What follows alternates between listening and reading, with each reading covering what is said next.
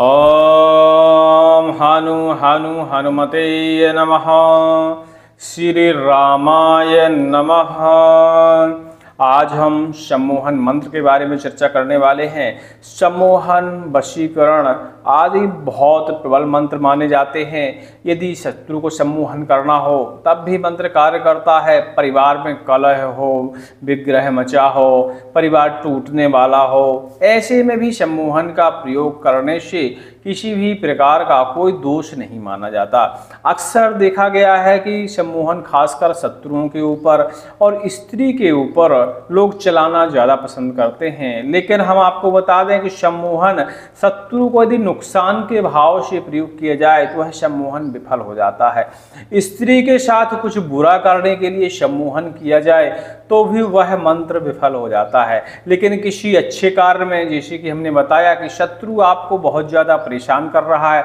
शत्रु को आपको मित्र बनाना है, मित्र भाव पैदा करना है। तो ऐसे में यदि आप सम्मोहन मंत्र का प्रयोग करेंगे तो बहुत जल्दी ही असर करेगा और बहुत जल्दी ही सिद्ध हो जाएगा।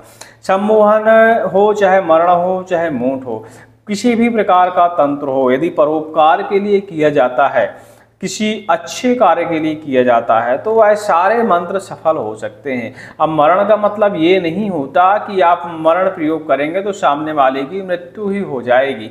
मरण प्रयोग कई तरह से किए जाते हैं। मरण प्रयोग का वैसे जैसे शत्रु, सैन्य संहार करना हो उस समय मरण उच्चाटन प्रयोग करें तो उसमें भी कोई दोष नहीं होता। लेकिन आम टाइम में हम किसी शत्रु के लिए मरण प्रयोग चला रहे हैं, वसीकरण प्रयोग चला रहे हैं कि वह हमारा गुलाम बन जाएगा। जाएगा, उससे हम चाहे जिस प्रकार का कार्य करवाएँगे, चाहे जहाँ उसकी सिर उसका दीवार में टकड़वा देंगे। तो ये सब क्या है कि ऐसे में मंत्र आपके विफल हो जाते हैं। हाँ शत्रु को मित्र भावना उसके अंदर पैदा करनी हो, परिवार में विग्रह मचा हो, कलह मची हो, लड़ाई झगड़े बहुत ज़्यादा होते हों तो ऐसे में भी आप सम्मोहन या वशीकरण का प्रयोग कर सकते हैं, जिससे पूरा परिवार जो है एक हो जाएगा। सब में मित्र भावना, अपनत्व की भावना जाग जाएगी। जिसके कारण लड़ाई, झगड़े, कलह आदि इत्यादि चीज़ें बंद हो जाती हैं। जैन धर्म में एक सम्मोहन मंत्र का उल्लेख है। वैसे जैन धर्म में कभी भी हिंसा को बढ़ावा नहीं दिया जाता। हिंसा उनके लिए प्रतिबंधित होती है। लेकिन जैन आचार्यों ने कुछ ऐसे मंत्रों का उल्लेख किया है। और हम आपको बता दें कि जहाँ जैन आचार्यों वाली बात आती है, वहाँ से यदि कोई मंत्र निकल के आता है तो बहुत ही प्रबल मंत्र होता है। और इतना प्रबल मंत्र होता है कि उसमें कुछ ही मिनट लगते हैं कार्य पूर्ण होने में। हम आज आपको दो मंत्र बता रहे हैं। एक जैन तंत्र साधना का मंत्र है और एक हनुमान जी का मंत्र है। और दोनों को मिश्रित करके यदि कोई प्रयोग करता है तो वशीकरण कभी उसका विफल नहीं होता। बस वशीकरण करने का एक नियम है कि आपको किसी परोपकार के हेतु उसको कर सकते हैं। जैसे किसी मित्र मित्र के यहाँ लड़ाई झगड़ा मचा है पति पत्नी विवाद चल रहा है, सास ससुर में विवाद चल रहा है। ऐसी स्थिति में आप ऐसे सम्मोहन का प्रयोग करेंगे। तो सारी चीज़ें सही हो जाएँगी और मंत्र बहुत जल्दी कार्य करेगा। तो चलिए पहले हनुमान जी के मंत्र को सुन लेते हैं और हनुमान जी के मंत्र की विधि भी जान लेते हैं। पहले मंत्र सुनते हैं, फिर विधि भी जानते हैं, क्योंकि मंत्र हम लास्ट में बताते हैं तो फिर आप लोग कंफ्यूज हो जाते हैं, मंत्र ढूंढते रह जाते हैं। मंत्र वैसे हम लिख दिया करते हैं, जो संभव हुआ। बहुत सारे मंत्र हम लिख नहीं पाते मोबाइल से खासकर। हाथ से लिखना संभव होता है, मोबाइल से लिखना मेरे लिए ज़्यादा संभव है नहीं है। ओम नमो पंचवदनाय हनुमते ऊर्धमुखाय हयग्रीवाय रुंग रुंग रुंग रुंग रुंग रुद्रमूर्ते सकल लोक वशीकराय वेद विद्या स्वरूपिणे ओम नमः स्वाहा। ओम हम पवन नंदनाय स्वाहा। इस प्रकार का मंत्र है और बहुत ही आसान और बहुत छोटा मंत्र है। इसको आसानी से सिद्ध किया जा सकता है। बस थोड़ी सी सामग्री लगती है, जो आपकी 10 से 20 रुपए में सामग्री आराम से आ जाती है। सामग्री क्या है? जैसे अपन को किसी को बस में करना है, या जिसके ऊपर हमको सम्मोहन प्रयोग करना है तो अपने दाहिने हाथ के नाखून का एक छोटा सा अंश, छोटा सा अंश, इतना नहीं कि सामने वाला बीमार हो जाए छोटा सा अंश लेना है और उसको एक किसी चीज़ के ऊपर उसको जला देना है। जब उसकी भस्म बन जाए तो उसमें भस्म को थोड़ी सी एक पुड़िया में रख लेना है और इसके बाद इस मंत्र की आपको 21 माला जाप करनी है।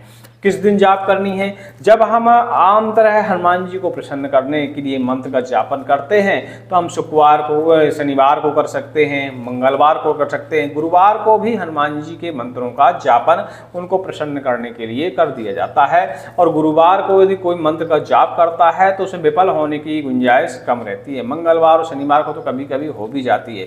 क्योंकि मंगलवार को हनुमान जी महाराज का जो शरीर का तेज रहता है वह एकदम चरम सीमा पर रहता है मतलब अति तेज रहता है। तो ऐसे में यदि मंत्र विफल होते हैं तो उस समय हमें नुकसान के ज़्यादा खतरे रहते हैं। लेकिन गुरुवार के दिन हनुमान जी महाराज का तेज जो है, शरीर का जो तेज है एकदम ठंडा रहता है। उस दिन वो शांति रूप में रहते उस दिन यदि हम किसी मंत्र का जाप कर देते हैं, किसी विशेष सिद्धि हेतु तो समझ लीजिए कि हनुमान जी बड़े जल्दी कृपा कर देते हैं। हाँ अब कोई विशेष संकट है जिसमें आपको तेज रूप की ही हनुमान जी की ज़रूरत है। किसी विशेष कार्य का कहने का मतलब कि आपके घर के अंदर कोई विशेष कष्ट है, विशेष बाधा है, ग्रह दोष है, भूत प्रेत बाधा है, ऐसे में यदि मंगलवार के दिन और शनिवार के दिन आप कोई मंत्र का जाप करते हैं तो आपकी वो बाधा मिट जाती है। लेकिन जब हनुमान जी महाराज से कोई ठंडा कार्य करवाना हो, एकदम ठंडा वाला कार्य तो ऐसे में आप गुरुवार को जाप करिए, अति फल की प्राप्ति होगी। तो ऐसे मंत्र को आप गुरुवार के दिन इक्कीस माला जप लीजिए और जो आपने अपने नाखून की भभूति बनाई है, जलाकर थोड़े से अंश की उस भभूति को अपनी चुटकी में पकड़िए और यही मंत्र बोलते हुए जिस भी व्यक्ति को आपको सम्मोहित करना है, उसको पता नहीं चलना चाहिए और उसके सिर पे वो भभूति डाल दीजिए। 12 से 24 अति हुई तो बहत्तर घंटे लगते हैं और उसके स्वभाव में परिवर्तन देखने को मिल जाता है। कई लोग इस चीज़ को खिलाते भी हैं, लेकिन हम खिलाना प्रिपेयर नहीं करते, क्योंकि इससे शारीरिक नुकसान हो सकता है, शरीर में कोई विशेष हानि हो सकती है, कोई रोग हो सकता है। तो ऐसे में खिलाना नहीं चाहिए, क्योंकि तंत्र शास्त्र में वैसे इसका वर्णन जो दिया गया है कि सिर पर डालने का दिया गया है, लेकिन अलग अलग तांत्रिक शोधों में ये भी निकला है कि कई लोग इसको खिला भी देते हैं, लेकिन हमारा मत है कि खिलाना नहीं चाहिए, ठीक है? इस तरह है, उसके दिमाग में परिवर्तन होने लगता है और उसका जो मन है, वो आपके प्रति आकर्षित होने लगता है। हनुमान जी का ये छोटा सा मंत्र है, और बहुत लोग इसका जाप भी करते हैं, बहुत लोग इसका श्रवण भी करते हैं। श्रवण करने से भी इसके फ़ायदे हैं, जैसे शत्रु वगैरह आपको ज़्यादा तकलीफ़ दे रहे हैं तो इस मंत्र के यदि आप लगातार जाप करते हैं तो शत्रु आपकी तरफ़ आकर्षित होते हैं और मित्र भावना उनके अंदर जाग जाती है और वो आपको नुकसान पहुँचाने के बारे में सोचना बंद कर देते हैं। ऐसे इस मंत्र के अच्छे प्रमाण देखे गए हैं। हमारे एक मित्र थे राम कुमार जी। राम कुमार जी अपने शत्रुओं से बहुत ज़्यादा परेशान थे। कोई ना कोई तंत्र उनके ऊपर चलाया जाता था या सामने रास्ते में उस ज़माने में साइकिल चला करती थी। 2004 में हमारे यहाँ ज़्यादा व्यवस्थाएँ नहीं थी। तो उस समय लोग उनके जो शत्रु थे, लाठी डंडा लेकर रोड में खड़े हो जाते थे। उनका रास्ता बंद कर देते थे उनको निकलने के लिए। मतलब कहा जाए तो अति परेशान हो गए थे। खेती बाड़ी का कोई झगड़ा था, वैसा कोई खास झगड़ा भी नहीं था, लेकिन शत्रु प्रबल था, इसलिए परेशान ज़्यादा करता था। वो आप जानते हैं, सब लोग जानते हैं कि जो प्रबल होता है, उसकी सब कोई सुनता है, जो कमज़ोर होता है, गरीब व्यक्ति होता है, उसकी कोई नहीं सुनता। तो यही स्थिति वहाँ भी थी। तो उन्हें इस मंत्र का सीधा सीधा एक लाख बार जापन किया। हनुमान जयंती से शुरू किया और प्रतिदिन उनका ये था कि हमको ग्यारह माला जप करनी है और उन्होंने इसका एक लाख लगभग जप किया। किसी किसी दिन उनने इक्यावन इक्यावन माला तक जप की। उन्होंने अपना अनुभव हमारे साथ शेयर किया और उन्होंने बताया कि जब हमारा जप संपूर्ण हो रहा था, इसकी हम संपूर्ण आहुति दे रहे थे, क्योंकि इस मंत्र का कितना भी जाप करो, इसकी दो परसेंट आहुतियाँ देनी हैं। यदि कहने का मतलब है कि आप सौ बार करीब जब रहे हो तो उसका सौ का दो परसेंट आप निकाल के उसकी आहुतियाँ दीजिए। तो उन्होंने दो परसेंट से भी ज़्यादा आहुतियाँ इसकी लगाई थी। लगभग उनने कई मालाएँ हवन की की थी। मतलब अति परिधान थे तो उनको लग रहा था कि किसी ना किसी तरह शत्रु हमारा काबू में आ जाए, हमको नुकसान पहुँचाना बंद कर दे। उन्होंने कई सालों से इस झगड़े के विवाद के कारण अपने खेत में बीज तक नहीं बोए थे। बहुत सारी समस्याएँ थी। और जब इस मंत्र का संपूर्ण हुआ तो बारह से चौबीस घंटे शायद लगा होगा। और शत्रु के सामने ये जा ही रहे थे तो उसने सामने से जयराम जी किया। और जब ये अपने खेत में जाने लगे तो किसी ने कुछ नहीं बोला।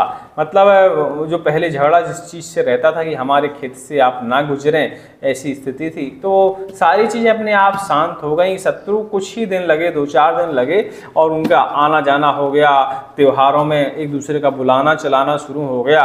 इस तरह की भावनाएँ उनके अंदर जागृत हो गई। तो ऐसे कार्यों में यदि आप सम्मोहन वशीकरण मंत्रों का प्रयोग करते हैं तो बड़ी जल्दी ही इसके सफल प्रभाव देखे जाते हैं और आप हानि पहुँचाने हेतु वशीकरण सम्मोहन का प्रयोग करते हैं, अधिकतर वो विफल ही हो जाते हैं, क्योंकि जब दूसरों को नुकसान की भावना हमारे अंदर हो तो ऐसे में हम किसी भी तरह का तंत्र प्रयोग करें, वो विफल होने के उसके चांस ज़्यादा रहते हैं। यह हो गया हनुमान जी का मंत्र। अब एक जैन तंत्र साधना में मंत्र है, जो हमारी गुरु जी की डायरी में उपलब्ध था। इसके भी परीक्षण और प्रभाव अच्छे देखे जाते हैं। हमने आपको वीडियो के पहले ही बता दिया था।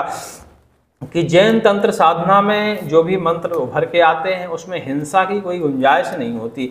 यह भी आप पारिवारिक समस्याओं में या अपने शत्रु के सम्मोहन में प्रयोग कर सकते हैं, लेकिन सभी के अंदर मित्र भावना जागृत करने हेतु, नुकसान पहुँचाने हेतु बिल्कुल भी सम्मोहन या वशीकरण मंत्रों का प्रयोग नहीं करना चाहिए। कई लोगों का मानना होता है कि कोई ऐसा हमें मोहिनी या वशीकरण मिल जाए कि हम किसी लड़की के ऊपर इस मंत्र को चलाएँ, उसके साथ कुछ ऐसा करने के उद्देश्य उद्देश्य तो ऐसे में भी मंत्र अक्सर विफल होते हैं क्योंकि आप नुकसान पहुँचाने के उद्देश्य से ऐसे मंत्रों का जापन करते हैं तो आपका जाप भी हर होता है, लेकिन मंत्र सफल नहीं होता। वही आप किसी के परिवार में जुड़ाव पैदा करने के लिए, परिवार की कलह दूर करने के लिए मंत्र का प्रयोग करें, तत्काल ही मंत्र सफल हो जाता है।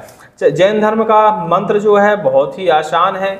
यह जैन तंत्र साधना से दिया गया है। जैन धर्म और तांत्रिक साधना एक ऐसी पुस्तक का पुस्तक से लिया गया है और इस मंत्र के भी प्रभाव अच्छे खासे देखे जाते हैं। अभी पुस्तक है या नहीं है, नहीं पता, लेकिन उस जमाने में थी और इस पुस्तक को हम लोग पढ़ा करते थे और बहुत सारे मंत्रों का इस पुस्तक से सिद्धिकरण भी किया गया। इस मंत्र की भी विधि सुन लीजिए, फिर हम मंत्र बता देते हैं आपको।